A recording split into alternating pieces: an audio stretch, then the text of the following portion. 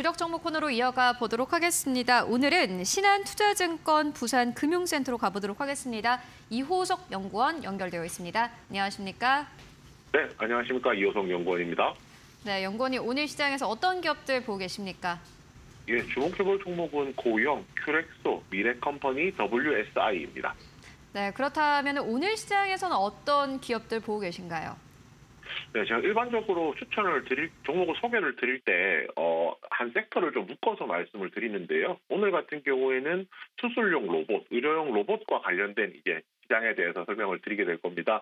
어, 첫 번째 종목은 이제 고영입니다.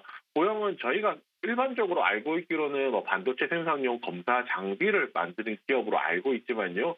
그 외에 이제 수술용 로봇 관련된 사업도 하고 있습니다. 바로 뇌 수술용 로봇인데요.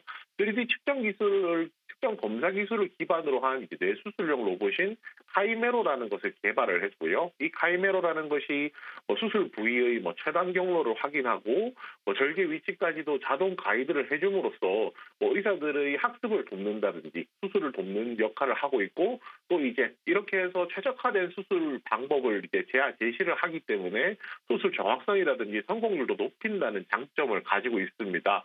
어, 이, 이 제품 같은 경우에는 2016년 말에 국내 이제 식품의약품 안전처 식약처에서 이제 제조 및 판매 승인을 받았었고요. 그 이후로 한 2년 동안 국내에서 임상이 있었습니다. 국내에서 이제 그뭐 세브란스 병원이라든지 서울 삼성 삼성 서울병원, 그다음에 공공시장 인천 성모병원 등 다양한 병원들의 이제 뇌수술용 의료 로봇인 카이메로가 이제 공급이 됐었고요. 뭐 이 부분이 중요한 이유는요. 결국에는 국내 병원에서 판매가 확대되고 많이 팔게 되면서 track record가 확보가 됐다는 겁니다. 결국은 이 track record를 기반으로 올해 4분기에는 그 미국 식약 식품의약 아니 미국 식품의약국이죠 FDA에다가 승인 승인 프로세스를 추진할 계획을 가지고 있다라고 지금 예상을 하고 있습니다.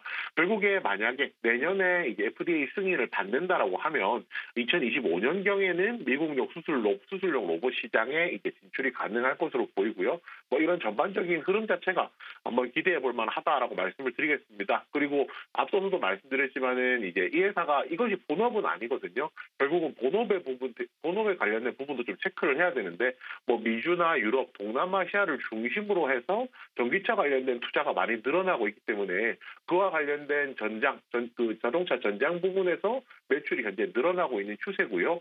최근에 또 공장 자동화가 트렌드로 잡히면서 미주나 동남아시아 고객사로부터 그 IoT 부분에서도 매출이 가속화되고 있다는 점도 좀 인상적이라고 할 수 있습니다.